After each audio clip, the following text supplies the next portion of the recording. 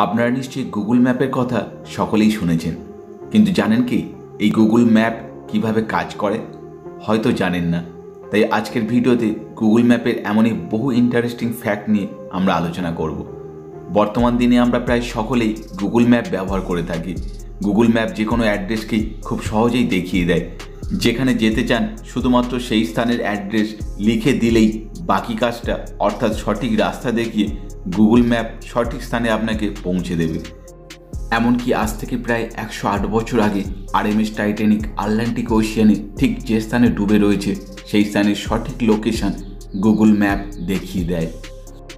এখানেই প্রশ্ন আসে গুগল ম্যাপ পুরো বিষয়টিকে কীভাবে ম্যানেজ করে? প্রতিটি জায়গা সম্পর্কে গুগল ম্যাপ কীভাবে ইনফরমেশন পায়? চলুন দেখে নেওয়া যাক গুগল ম্যাপের নেটওয়ার্ক কীভাবে কাজ করে? প্রতিটি রাস্তা গলি স্টোর সম্পর্কে কারাই বা গুগল ম্যাপকে ইনফর্ম করে। ভিডিও শুরু করার আগে যারা এখনও আমাদের চ্যানেলটিকে সাবস্ক্রাইব করেনি, তারা এখনই চ্যানেলটিকে সাবস্ক্রাইব করে নিন। চলুন শুরু করা যাক। হ্যালো বন্ধুরা, welcome back to our channel mysterious episode Bangla.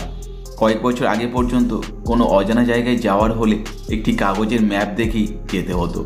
Situation এমনও হতো, আমরা কোথায় রয়েছি তা জানতে পারতাম না। কখনো বিপদের মধ্যেও পড়তে হতো।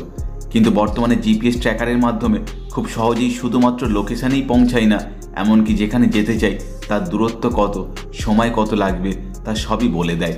গাড়িতে গেলে কত সময় লাগবে, হেঁটে গেলে কত সময় লাগবে এই সবই গুগল ম্যাপ আমাদের ফোনেতেই জানিয়ে দেয়। গুগল ম্যাপের কাহিনী শুরু হয় দু হাজার সালের মাঝামাঝি সময় থেকে, যখন গুগল বেয়ার টু কোম্পানিকে অ্যাকোয়ার করে। তাদের একমাত্র উদ্দেশ্য ছিল ফোন রিফ্রেশ করা ছাড়াই লোকজন যেন সঠিক জায়গায় পৌঁছে যেতে পারে। যদিও সেই সময় একটি সার্ভিস চালু ছিল, যার নাম ছিল ম্যাপ টুইস্ট, যার সাহায্যে ডিজিটাল সিস্টেমে আপনি যে স্থানে যেতে চান তার সম্পর্কে সঠিক তথ্য জানতে পারতেন। কিন্তু এতে সমস্যা একটি ছিল, এতে বারবার ফোন রিফ্রেশ করতে হতো, তারপরে আপনি পরবর্তী রাস্তা দেখতে পেতেন, যার জন্য সকলেরই খুব সমস্যা হতো। আর এই প্রবলেমের সলিউশন খুঁজতে গিয়ে গুগল ম্যাপ গভর্নমেন্টের সঙ্গে টাই আপ করে। যেখানে গভর্নমেন্টকে বলা হয় দেশের প্রতিটি স্থান সম্পর্কে গুগল ম্যাপকে ইনফরমেশান দিতে, যাতে গুগল একটি ম্যাপিং তৈরি করতে পারে। কিন্তু গভর্নমেন্টের কাছেও দেশের প্রতিটি স্থানের ডিটেলস রাখা সম্ভব নয়। আর তাই প্রতিটি স্থানের ডিটেলস জানার জন্য স্যাটেলাইট ব্যবহার করা হয়। প্রথমে স্যাটেলাইট ইমেজের মাধ্যমে প্রতিটি স্থানের ডিটেলস ডাটা কালেক্ট করা হয়, যাতে একটি বেসিক স্ট্রাকচার তৈরি করা যায়।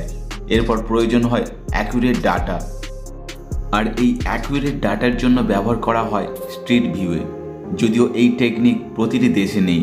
যে দেশে আছে, সেখানে গাড়ি চালানো হয় এবং এর তিনশো ষাট ডিগ্রির আশেপাশে সমস্ত জায়গার ডিটেলস ক্যাপচার করা হয়। সেখানে যেতে কত সময় লাগবে, কোন রাস্তা কোন দিকে টার্ন নিয়েছে, তা সবই এই টেকনিকের মাধ্যমে জানা যায়। এই সকল কাজ গুগল তাদের টেকনিক্যাল সিস্টেমের মাধ্যমে কমপ্লিট করে ফেলে, যাতে জানা যায় কোন রাস্তা কত দূর পর্যন্ত গিয়েছে এবং সেখানে আশেপাশে কি কি রয়েছে। আর এরপরেই এই ডাটাকে স্যাটেলাইট ম্যাপের সাথে ম্যাচ করা হয়। অনেক সময় থ্রিডি ভিউয়ের জন্য প্লেন এবং হেলিকপ্টারকেও ব্যবহার করা হয়।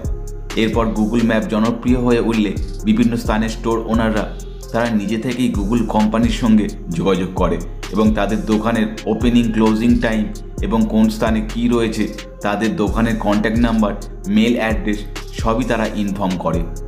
এছাড়াও বাকি জিনিস ক্লাউড সোর্সের মাধ্যমে গুগলের কাছে পৌঁছে যায়। অনেকেই নিজে থেকে বহু জিনিস গুগলে অ্যাড করে দেয়। এরপর গুগল সেগুলিকে ভেরিফাই করে তাদের ম্যাপে অ্যাড করে নেয়। এছাড়া কোন স্থানে কতটা ভিড় রয়েছে, তার সবই ইনফরমেশান গুগলের কাছে রয়েছে। কারণ বেশিরভাগ ব্যক্তির গুগল ম্যাপ অধিকাংশ সময়ই খোলা থাকে। এর ফলে কোন স্থানে কোন ব্যক্তি কত সময় ধরে রয়েছে, তা সবই গুগল ম্যাপের ইনফরমেশানে রয়ে যায়। এইভাবে গুগল জানিয়ে দেয় কোন স্থানে কত বেশি ট্রাফিকও রয়েছে। আরও একটি বিষয়, কোনো রাস্তা নতুন তৈরি হলে তার ইনফরমেশান গুগলের কাছে না থাকলেও সে সম্পর্কে ইনফরমেশান পেয়ে যায়। কোনো ব্যক্তি সেই রাস্তার পাশ দিয়ে গুগল ম্যাপ অন করে গেলে পাশের নতুন রাস্তার information Google map automatically receive করে। এরপর গুগল সার্চ ইঞ্জিনের মাধ্যমে তা ভেরিফাই করে সেই নতুন রাস্তাটিকেও গুগল ম্যাপে অ্যাড করে নেয়। তবে বড় বড় শপিং মল এবং এয়ারপোর্টের ক্ষেত্রে গুগল ম্যাপ একটু আলাদাভাবেই কাজ করার সুযোগ পায়। কারণ সেখানে বড় স্পেস থাকার জন্য এয়ারপোর্ট কর্তৃপক্ষের কাছ থেকে তারা পারমিশন নিয়ে গুগল তাদের নিজস্ব প্রতিনিধি পাঠিয়ে প্রতিটি কাউন্টার সম্পর্কে তারা ডিটেলস তথ্য গুগল ম্যাপে ইনক্লুড করে। তবে বর্তমানে গুগল ম্যাপ নিজেদের অ্যাকুরেসি বাড়াতে গভর্নমেন্টের লাগানো স্ট্রিট ক্যামেরার সাহায্য নিয়ে থাকে। এবার নিশ্চয়ই বুঝতে পারছেন গুগল ম্যাপ কীভাবে কাজ করে? এছাড়া কোনো ডাউট থাকলে অবশ্যই কমেন্ট করে জানাতে ভুলবেন না। ভিডিও ভালো লাগলে একটা লাইক বন্ধুদের মধ্যে শেয়ার করুন আর চ্যানেলে নতুন হলে চ্যানেলটিকে সাবস্ক্রাইব করে নিন, যাতে এই ধরনের ইন্টারেস্টিং ভিডিও পেতে পারেন। দেখা হচ্ছে পরবর্তী ভিডিওতে সঙ্গে থাকুন।